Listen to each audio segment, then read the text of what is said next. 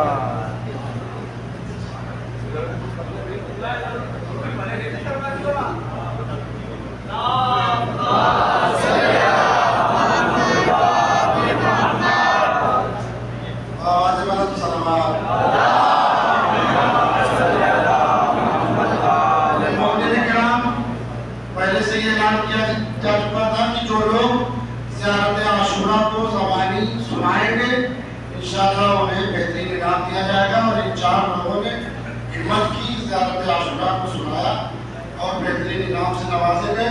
अब इंशाअल्लाह ये प्रोग्राम पूरे साल चलता रहेगा।